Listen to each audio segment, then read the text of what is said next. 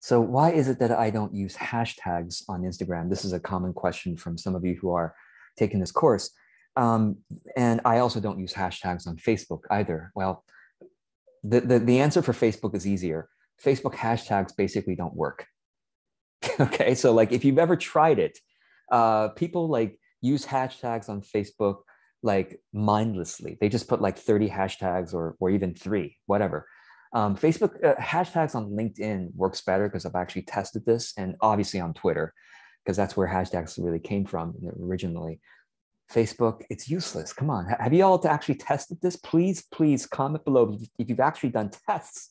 The same post, you know, posted, let's just say a one week apart. One has a hashtag, one doesn't, and tell me if you're actually reaching more of the right people, the right people and number one, you're probably not barely even reaching more people. Is it really worth looking spammy? Your hashtags look spammy. Did you know that? I mean, to me, it does. I know not not to everyone. Some people don't think hashtags look spammy. It looks spammy to me, and I, others to others also. It's like I don't know, especially if you put like more than one or two or or maybe three. Anyway, so I think hashtags on Facebook are are are kind of a it's it's a yeah. Anyway, I, I don't recommend it. I think it's I think it's useless. Um, but but on on um, on Instagram, hashtags do reach more people, barely. Uh, in my testing, it reaches, I don't know, a few more to a few dozen more people, and to me, that's not worthwhile because why? I know how to use Instagram ads. I spend five dollars. Okay, you are working hard to put your 30 hashtags in to your first comment, and you reach whoa, you reach 100 new people. All right. You think that's really great. You spend all that time putting those 30 hashtags in. Okay, you copy and paste it, whatever. Guess what I do?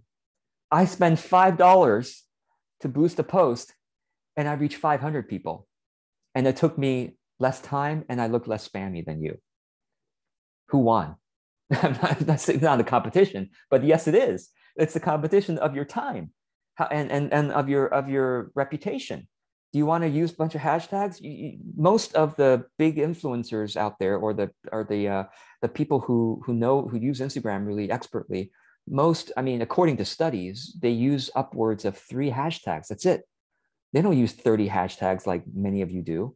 Come on, what what what the heck are you doing? Okay, number one, it's a waste of your time compared to ads. Five dollars, one dollar. If you spend one dollar on Instagram posts, you reach hundred targeted people instead of your 30 hashtags and it looks looks spammy. Okay all right number one ads are a much better use of your time. Number two are you even reaching the right people with your hashtags?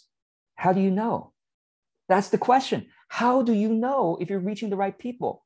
With ads testing with when i you know if you those of you want to take my facebook ads class i'll you know I, I i walk you through how to do ads testing meaning testing the audience with Instagram ads testing, it's very obvious because they give you a separate link. This is getting into a bit of an inside baseball here, but just, just let you know what's possible. When you run ads on Instagram, okay, they tell you specifically who liked your ad. It's very clearly, it's a very clearly separate. With Facebook ads testing, it's a little bit more tracking. I, I teach that as well, but you can still tell. With Instagram, they, it's very obvious to you who liked your post organically without ads and who liked your your um, your post with ads. They, they they separate they separate the two.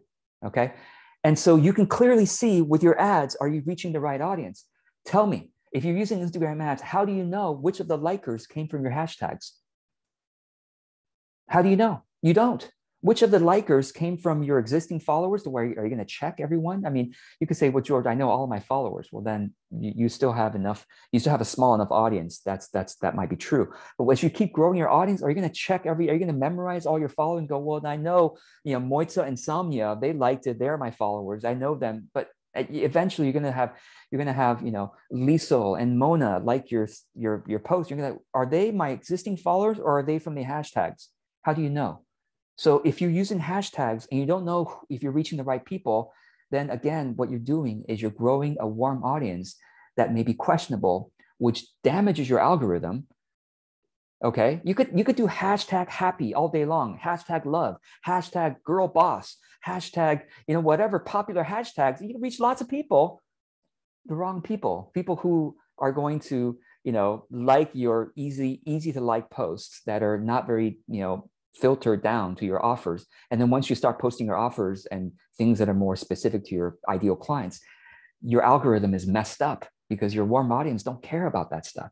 Anyway, this is a whole uh, education that, that you need to understand for how the Instagram algorithm works. If you're interested, you know, you can you can learn with me if you want to in my Instagram class, my Facebook ads class, or you can just go to YouTube and and search how to learn Instagram algorithm, all that stuff. But that's my that's my long answer to that short question. And thank you for asking about Instagram hashtags. I hope this is helpful. One more thing. In my Instagram class, I do talk about how every hashtag on Instagram is like a community of people. So in a sense, you can kind of tell who you're reaching by going to the hashtag itself, the hashtag community itself, the hashtag page, and seeing who is who else is posting on that hat using that hashtag. It gives you a sense of that because people using the hashtag might also be following it, but there are also people following the hashtag who don't post there. And again, I'm just I'm just all, always nervous. But main main point is that it's just a waste of energy. Just why don't you just use one dollar? Just use one dollar for every post. Just use one dollar to reach a hundred of the right people. Two or three dollars if you possibly can afford it. Five dollars if you can afford it to reach hundreds more people of the right people. So hope this helps.